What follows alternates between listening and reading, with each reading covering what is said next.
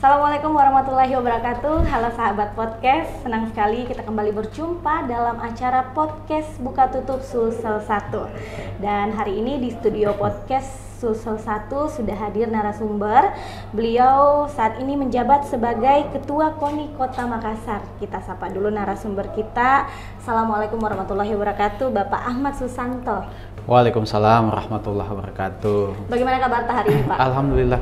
Alhamdulillah Iya. hari ini bisa menyempatkan Iya. berkunjung di Sulsel satu ngobrol-ngobrol bareng sahabat-sahabat podcast. Alhamdulillah. Nah Pak, kita saat ini menjabat sebagai Ketua KONI Kota Makassar. Iya. Nah sebelumnya mungkin masyarakat Kota Makassar juga belum banyak yang tahu peran KONI sebenarnya seperti apa Pak. Mungkin Iya. bisa kita jelaskan untuk masyarakat yang nonton hari ini seperti apa? Ya. Jadi KONI itu adalah lembaga pemerintah sebetulnya ya. Jadi lembaga yang berafiliasi menjadi mitra pemerintah Kota Makassar kalau di tingkatan Kota Makassar yang bertanggung jawab dalam pembinaan ya. Pembinaan dan prestasi olahraga Kota Makassar. KONI hari ini kita ada 39 Hmm. cabang olahraga sebagai anggota dan ada tiga sebagai anggota fungsional. Hmm. Jadi asosiasi yang menjadi anggota fungsional. Eh, dalam hal pembinaan dan prestasi ini menjadi tanggung jawab KONI Kota Makassar membina menghimpun 39 cabang olahraga yang kita punya. ada di Kota Makassar. Ya, 39 jadi- luar biasa. Iya. Itu pembinaannya dalam bentuk apa, Pak? Kalau boleh tahu mungkin bisa dijelaskan. Ya sebetulnya kalau pembinaan cabang olahraga itu atau Hmm. olahraga prestasi itu sebetulnya masing-masing di cabang olahraganya. Karena kan antara cabang olahraga yang satu dengan yang lain pasti Hmm. beda-beda ya. Beda-beda pola latihan, beda-beda karakteristiknya dan beda-beda target prestasinya. Namun secara keseluruhan tentu kita mendukung Hmm. melakukan monitoring, pengawasan dan supporting kepada 39 cabang olahraga ini. Yang kedua, KONI ini membuat uh, formulasi skema bagaimana dalam skala besar olahraga ini uh, punya selain punya prestasi tapi juga punya manfaat juga untuk masyarakat Kota Makassar khususnya. Nah, Bapak Ahmad Susanto sendiri sudah berapa lama Pak menjabat sebagai Ketua KONI Kota Makassar? Ya. Saya terpilih di bulan Januari, akhir Januari, 22 Januari kalau tidak salah. Januari di tahun ini atau tahun ini tahun- di tahun ini, 2022. Berarti Kemudian masih pelantikan kurang lebih enam bulan, ya, Pak, ya? Pelantikan di bulan 3. Di bulan 3. Jadi kurang lebih tiga bulan Tiga bulan sebetulnya. menjabat. Iya, Mm-mm. tiga bulan.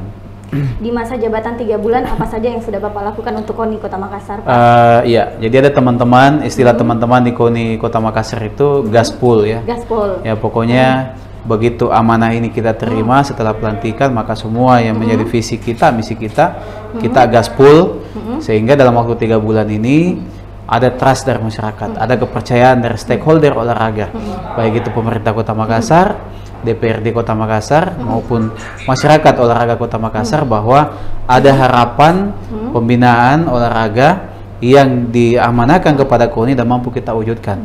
Tiga bulan ini saya kira kita selain melanjutkan tata organisasi yang sudah ada sebelumnya, ya kami banyak melakukan uh, beberapa inovasi-inovasi dan pendekatan-pendekatan khusus pada uh, pola-pola pembinaan uh, olahraga di Kota Makassar ini. Nah, sebenarnya apa Pak yang menjadi alasan Bapak Ahmad Susanto sendiri untuk ikut atau apa obsesi Bapak untuk ikut maju dalam pemilihan Ketua KONI Kota Makassar? Ya. Uh, saya salah satu kan memang uh, backgroundnya di olahraga banyak. Saya banyak terlibat selama ini di olahraga. Saya ketua Asosiasi Futsal Provinsi Sulawesi Selatan. Kemudian uh, pada saat yang sama juga diamanahkan sebagai ketua PSSI sepak bola ya Kota Makassar. Sehingga keresahan atlet, kemudian sistem olahraga kita, pembinaan kita mungkin perlu mendapat sentuhan ya, terutama sentuhan energi dan sentuhan inovasi yang dibutuhkan sehingga ada warna baru dalam pembinaan olahraga kita. Itu yang coba kita uh, wujudkan sebetulnya. Jadi salah satu alasan yang mendasar karena kecintaannya Iya, Bapak sama betul. olahraga ya Iya. yang menjadikan Bapak ikut dalam pemilihan Ketua KONI Kota Makassar Iya. dan akhirnya terpilih dan dilantiklah di bulan 3 Alhamdulillah. nah Pak sebagai Ketua KONI Iya. Kota Makassar apa visi misi tak Pak untuk KONI ke depannya? Iya, saya kemarin ngusung visi misi Makassar City of Sport. Hmm. Ada tiga yang ingin saya sasar dalam Makassar Tiga Sport. Yang pertama adalah saya ingin meresetting ulang pembinaan usia dini dan prestasi Kota Makassar. Karena itu eh, mulai dari cara mengambil atletnya, ya, cara peminatan dan bakatnya, kemudian eh, pembinaannya di masing-masing cabang olahraga secara terintegrasi, kemudian kalender eventnya, kemudian eh, prestasinya sampai kepada kesejahteraan atletnya. Ini adalah alur yang kita tuju. Yang kedua, kita mau olahraga di Makassar ini menjadi mitigasi sosial, ya. Mitigasi sosial menjadi kekuatan moral di masyarakat, menjadi kekuatan motivasi, menjadi ke menjadi kontrol sosial di masyarakat. Ada energi yang harus kita pindahkan dari energi negatif ke energi positif. Kita tahu anak-anak Makassar ini adalah uh, kelompok anak muda yang kelebihan energi. Ya barangkali kalau pagi makan coto, tuh, siang palu basah, malam apa lagi sehingga ada Energi kelebihan. dan kalori Nah, kelebihan Pak ya. Kelebihan energinya. Sehingga butuh ada butuh ruang untuk kita salurkan energinya secara positif. Maka kehadiran KONI Kota Makassar melalui pembinaan olahraga yang terintegrasi itu bisa memberikan impact terhadap uh, kondisi sosial kita. Anak-anak yang tadinya suka misalnya baku pukul atau tawuran nah, nanti akan kita coba untuk mereka masuk ke olahraga bela diri.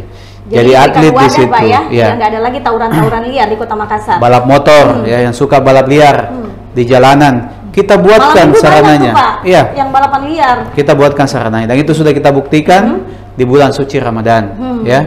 Kita ada event kemarin run race ya Eh, apa balap balap motor ya yang kita adakan di CPI itu adalah sebuah komitmen kepada eh, adik-adik kita anak-anak kita bahwa berhenti balap liar kita buatkan eh, balapan resminya. Nah, alhamdulillah dengan segala keterbatasan kondisi pro kontra yang terjadi di masyarakat kegiatannya jadi dan itu mampu menekan angka balap liar yang terjadi di Makassar. Ah, begitupun juga misalnya sekarang di utara persoalannya adalah anak-anak suka baku pate-pate ya. Maka kami akan buat venue panahan di situ, salah satu sport center di situ yang eh, konsentrasinya adalah olahraga panahan sehingga yang jago baku pate-pate masuk menjadi atlet panahan. Iya. Terasa bakatnya bisa jadi atlet dan bisa sejahtera. Ini adalah esensi kehadiran KONI dan pembinaan olahraga menjadi mitigasi sosial, berkontribusi terhadap pembinaan uh, moral dan energi masyarakat dikelola secara baik. Dan itu juga Nah, menjadi visi misinya Bapak betul. Ahmad Susanto ya Pak ya. Betul. Selama menjabat tiga bulan lebih seperti apa ini Pak? Kita menjalankan visi misi tak. Iya.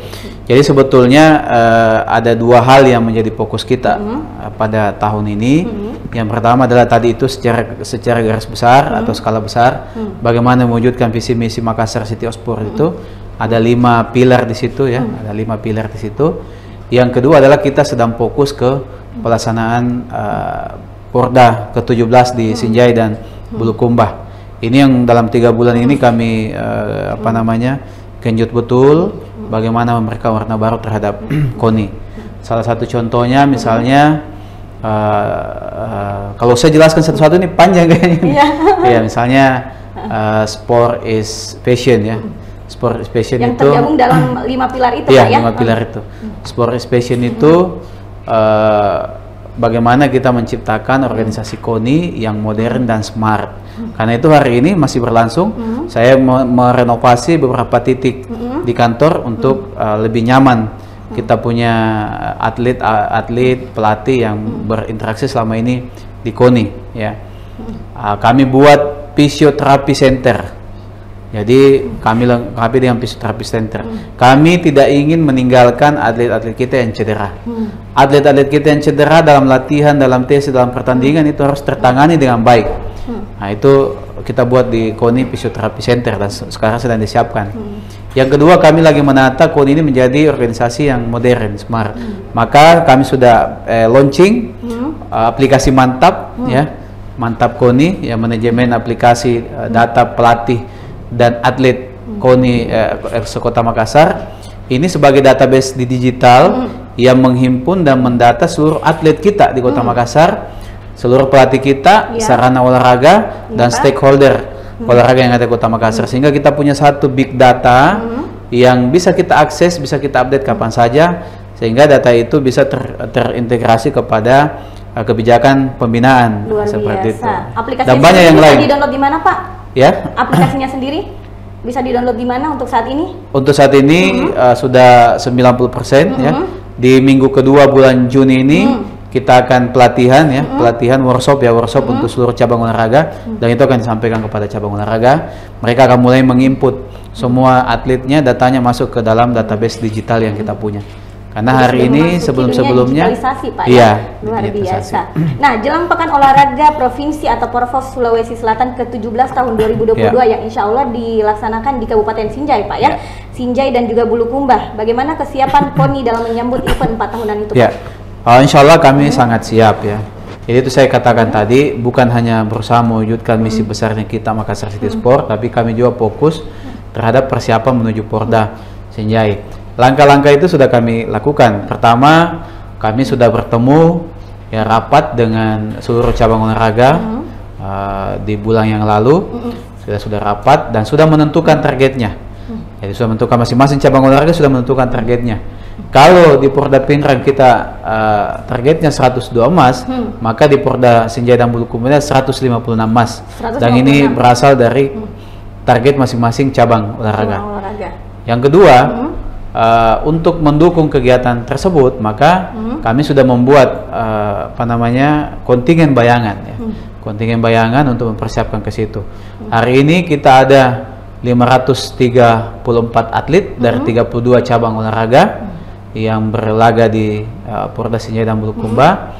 Kemudian kita ada 170 uh, 182 pelatih dan mekanik sehingga jumlah kontingen kita 705 untuk atlet dan pelatihnya dengan mekaniknya ditambah dengan panitia kontingen sekitar 150 jadi mendekati angka 900 sampai 1000 sebetulnya kontingen Kota Makassar ke situ. Kemudian kita juga sudah melakukan tes fisik untuk seluruh atlet kita. Kita bekerja sama dengan Fakultas Ilmu Kedokteran baru-baru dua minggu yang lalu. Uh, sudah kita laksanakan pemeriksaan fisik dengan 13 item. Ini akan menjadi bahan, menjadi referensi buat pelatih untuk menentukan kualitas latihannya dan skema latihannya. Nah, ini hasilnya kita tunggu dan begitu ada, maka kita akan panggil pelatihnya, menjelaskan sehingga dia bisa membuat skemanya. Per 1 Juni juga ini, 1 Juni uh, 2022 ini kontingen Kemarin Makassar berarti, Pak, ya? iya. 1 Juni kemarin. Per 1 Juni ya, per 1 Juni. Kontingen Makassar sudah memasuki TC berjalan efektif selama tiga bulan sampai Agustus karena pelaksanaan di bulan 9. Maka sekarang ini hari ini semua sudah melaksanakan uh, TC di masing-masing cabang olahraga dan tentu kita akan evaluasi secara berkala. Baik itu setiap bulan atau setiap dua bulan sekali. Kita sudah ada tim monipnya, kami sudah membentuk tim monip masing-masing cabang olahraga. Kemudian insya Allah tanggal 8 ini kita akan mengadakan pertemuan dengan Bapak Angkat cabang olahraga yang uh, Bapak Angkat cabang olahraga yang membantu. apa, Pak, pertemuan itu? Uh, membantu cabang olahraga Membantu cabang ya olahraga. memberikan dukungan kepada cabang olahraga baik itu yang sifatnya sarana dan fasilitas maupun yang sifatnya adalah bantuan yang lain ya.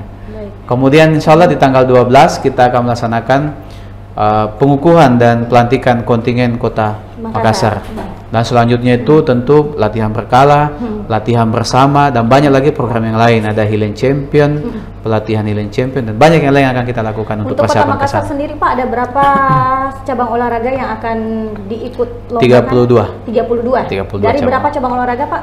32. Jadi semua ikut Pak Semua ya? ikut. Insya Allah ya, Ya, semua 32 ikut. Ini cabang olahraga yang 100%. diperlombakan Ya. 100%. bahkan. 100% itu di luar eksebisi. Ada juga nanti cabang olahraga yang eksebisi. Jadi bisa saja nanti kita 39 full cabang olahraga dengan 39 di- ya, dengan luar eksebisi. biasa. Nah Pak, bagaimana koordinasi KONI dengan pemerintah Kota Makassar dan para pengurus cabang olahraga dalam menghadapi event ini Pak? Iya. Jadi eh, ini adalah event besar, event bersama.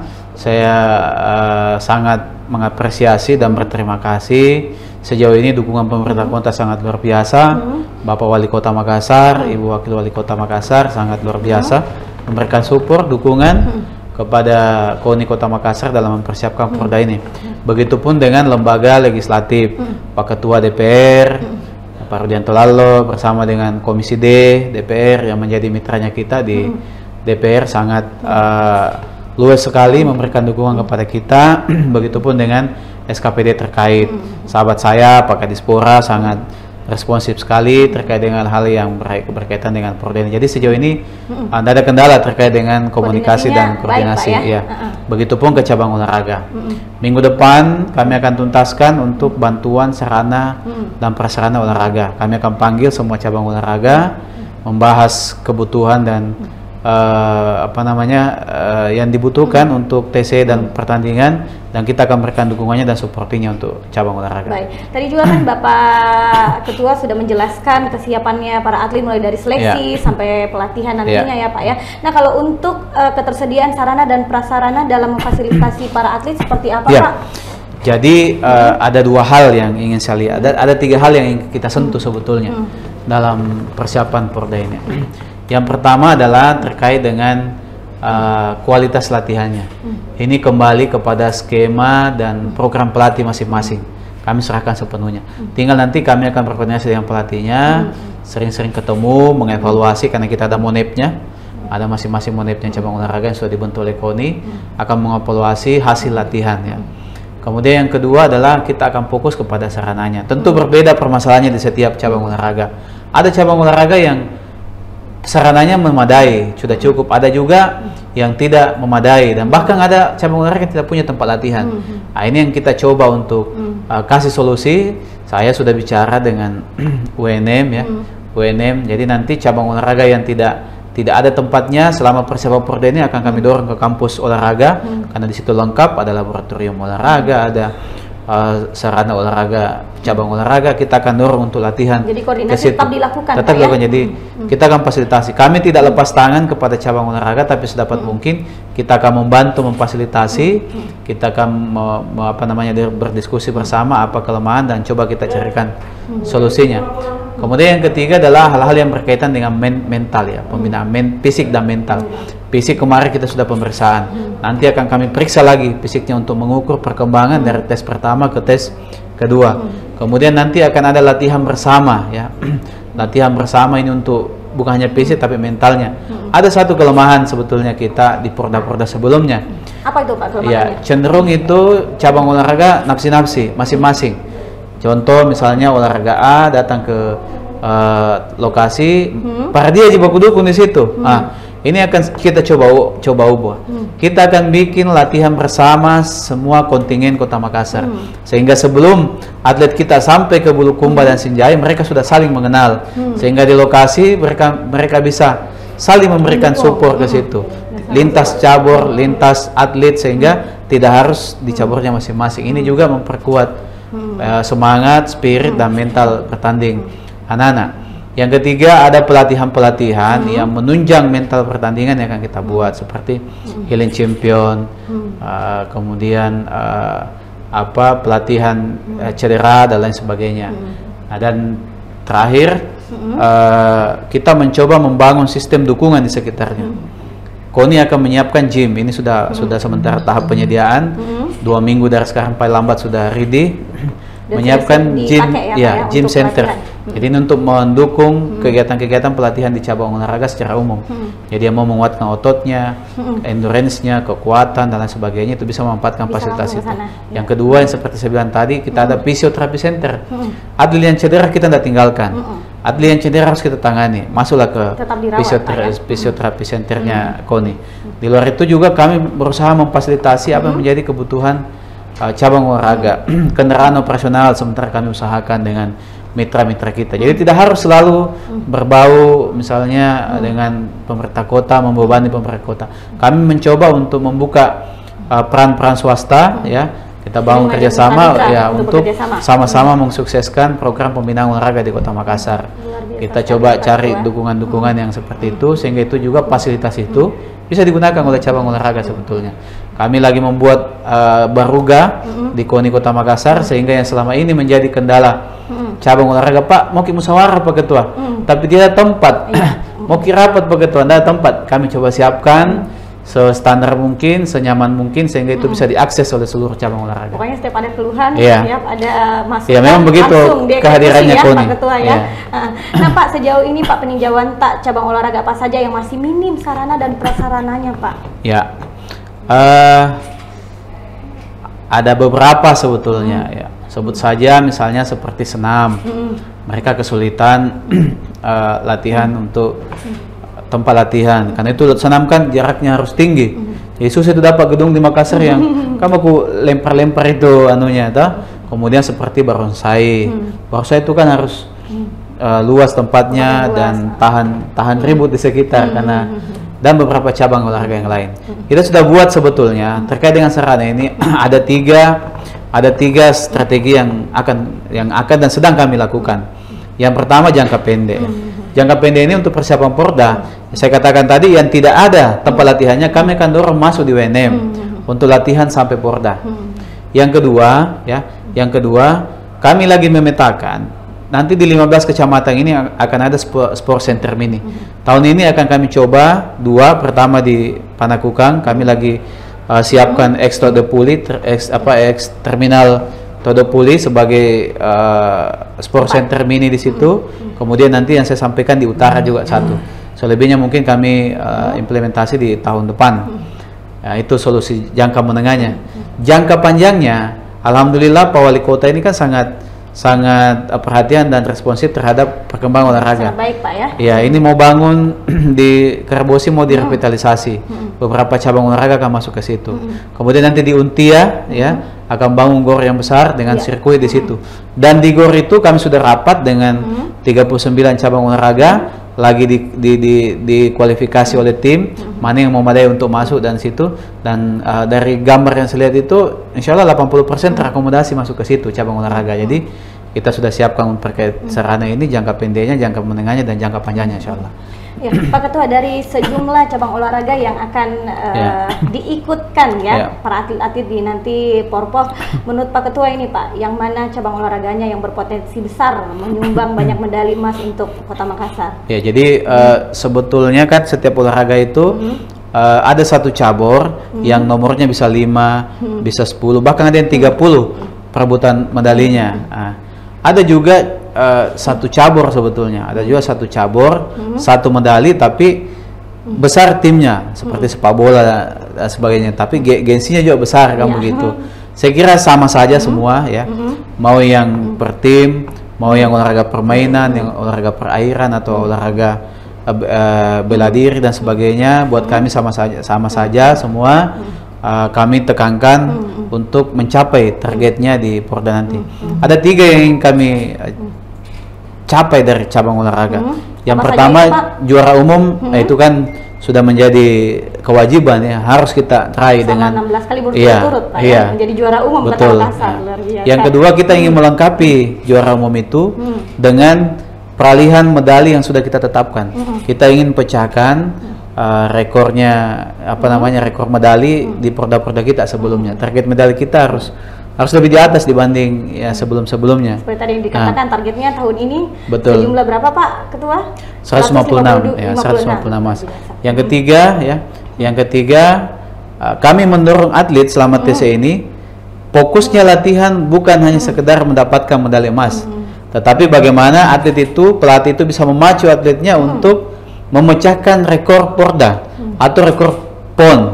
Karena kalau sudah pecah rekor pasti dapat medali. Contoh atletik misalnya lari 100 meter, nah, catatan waktunya mungkin bisa dipecahkan rekor PON. Ini akan menjadi kebanggaan lebih buat Makassar dan tentu akan berimpact kepada nasional.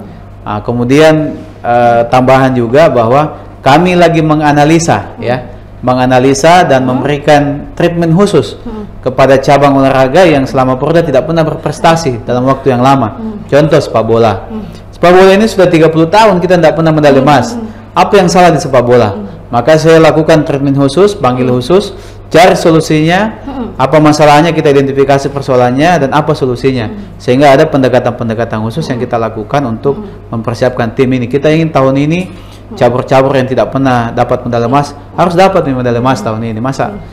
Karena supaya saling menyempurnakan lah, saling melengkapi yang yang lain. Jadi seperti itu cara Pak Ketua ya Iya. Pak untuk terus mendorong biar eh, cabur-cabur yang ketinggalan itu Iya. bisa mendapatkan prestasi Betul. tahun ini Iya. Pak ya. Nah Pak ke- kedua dari terakhir Pak Adakah bonus Pak yang dijanjikan pemerintah. Kota Makassar bagi para atlet yang bisa meraih medali Pak Iya. untuk Kota Makassar? Eh, kalau berbicara bonus itu, Mm-mm. itu insya Allah pasti, ada Pasti, bonusnya. Pak, ya. Jangankan bonus. Hmm. Tahun ini di di KONI Kota Makassar kita menyiapkan Hmm. dua dua dua hal deh. Yang pertama jangankan Porda. Hmm. Yang ini yang akan datang ini yang sebelumnya sudah kita kasih yang peraih medali di PON asal Makassar. Jadi yang memperkuat Sulawesi Selatan tapi di atlet Makassar sudah kita kasih bonus. Kemudian ini lagi nanti yang SEA Games ini akan kita kasih bonusnya. Apalagi yang yang yang Porda memang ya memang binaan eh, KONI Kota Makassar. Hmm. Satu lagi program saya siapkan dan sudah kita lakukan Apa ya. itu Pak programnya? Itu dukungan pelatnas ya. Dukungan pelatnas. Hmm. Kita mau melahirkan banyak atlet-atlet kita yang melakukan pelatihan nasional Hmm. Di Jakarta atau di mana pun ya yang, yang perlu pelatnas. Maka kita menyiapkan dukungan kita untuk itu. Selama ini atlet selalu mengeluh, Pak, saya lolos pelatnas, Pak. Hmm. Tapi sampai di sana Pak, saya bayar sendiri kosku Pak. Mm-mm. Saya eh, cari makan sendiri. Iya. Maka kita sudah siapkan dukungannya itu. Ada kemarin beberapa yang sudah kita bantu. Ada eh, apa yang pelatnas ini bersaudara PBSI ya bulu tangkis yang kebetulan juga terbakar rumahnya. Nah, ini dia masuk ke pelatnas kita sudah bantu berikan dukungan nasional, dukungan untuk pelatnasnya. Kemudian ada juga eh, apa panjat tebing dan lain sebagainya yang berprestasi tingkat dunia ya ikuti pelatnas sudah kita kita berikan juga Luar dukungannya. biasa, jadi dukungannya tidak pernah lepas ya Pak Iya. Ketua ya. Nah Pak, harapan. Pak untuk para atlet yang akan mengikuti Pekan Olahraga Provinsi Ya. seperti apa? Hmm. olahraga itu harus kita pandang pada dua hal. ya. Hmm. Pertama adalah Hmm. kepada atlet-atlet kita yang akan bertanding di Sinjai dan Bulukumba ya. Hanya ada dua ya, Hmm. hanya ada dua yang bisa mengibarkan merah putih Hmm. dan eh, Indonesia Raya bisa ber- apa namanya sangat luar biasa ya Indonesia Raya bi- bisa dinyanyikan dengan sangat luar biasa yang pertama adalah ketika kunjungan kepresidenan ke negara lain maka Indonesia Raya akan Berkumandang. dengan sangat sangat luar biasa. Dan yang kedua adalah ketika seorang atlet juara dan mendapatkan prestasi, maka lagu padamu negeri dan Indonesia Raya itu akan mengiringi hasil daripada perjuangan atlet kita. Maka Porda ini akan menjadi momentum yang luar biasa, akan menjadi catatan sejarah yang tidak boleh kita lewatkan. Caranya untuk tidak melewatkan adalah latihan semaksimal mungkin, bersusah payah memang dalam latihan supaya nanti manis ketika meraih kemenangan. Ya. Yang kedua, eh, buat atlet semua jangan terbebani ya kita latihan sesuai dengan arahan pelatih dan yang paling penting di atas segalanya adalah nilai-nilai sportivitas karena uh, tingkatan tertinggi di olahraga itu adalah respect makanya ada peribahasa di olahraga prestasi mutlak persahabatan abadi Luar biasa Pak. Nah Pak, kalau eh, pesan-pesan sendiri Pak untuk eh, mungkin pemuda-pemuda yang eh, mempunyai kecintaan luar biasa kepada olahraga seperti Iya. apa Pak? Ya, jadi untuk uh, terutama ya, terutama anak muda Kota Makassar ya. eh, salah satu program KONI Makassar itu adalah menghadirkan olahraga sebagai solusi. Makanya yang kita itu adalah olahraga adalah solusi. Bagaimana menciptakan olahraga sebagai mitigasi sosial. Maka ayo saya mengajak kepada kepada kita semua, terutama anak muda kita, ayo kita berkontribusi ya. Salah satu jalur yang paling efektif dan efisien adalah melalui olahraga. Apalagi nanti KONI ke depan punya pembinaan ya, punya pembinaan, maka fungsi korcam kita akan tingkatkan. Pembinaan itu mulai dari lorong, kelurahan, kecamatan sampai eh, tingkat kota sampai ke atasnya untuk prestasi. Maka bantu kami, eh, ayo siapa tahu ada keluarga apa semua nanti yang punya potensi dalam pemilihan cabang olahraga masukkan ke situ jadikan atlet dan insya Allah doakan kami ya sesuai dengan perintah Bapak Wali Kota untuk mewujudkan namanya Perda Atlet ya. Perda atlet itu adalah peraturan daerah terkait dengan olahraga. Salah satu keinginan Bapak Wali Kota adalah memberikan apresiasi, insentif kepada atlet-atlet kita yang sudah berprestasi dengan kualifikasi tertentu. Bahasa sederhananya, Kalau RT RW bisa digaji, kenapa atlet berprestasi Kota Makassar tidak bisa, Hmm. Bisa digaji digaji. seumur hidupnya? Benar, Dan itu bisa kita wujudkan kalau sudah ada perdanya, insya Allah. Insya Allah luar biasa. Terima kasih Ya. Bapak Ketua KONI untuk waktunya. Eh, Pokoknya kita juga mendoakan semoga semua harapan dan Ya. juga target eh, Ya. di Porpov ke-17 Amin, ya, amin. bisa digapai ya Pak ya. Amin. semua kembali Ya. lagi juara umum ke Kota Amin, Makassar. amin. Amin. Pokoknya terima kasih untuk Juara waktu, umum plus ya. Juara umum plus pokoknya. Iya. Terima kasih Pak Terima kasih, Ketua untuk waktu Ibu. Ta dan untuk sahabat-sahabat podcast. Terima kasih sudah menyaksikan video ini. Jangan lupa videonya di komen, share, dan juga jangan lupa di subscribe. Dan sampai ketemu lagi di podcast selanjutnya. Wassalamualaikum warahmatullahi wabarakatuh.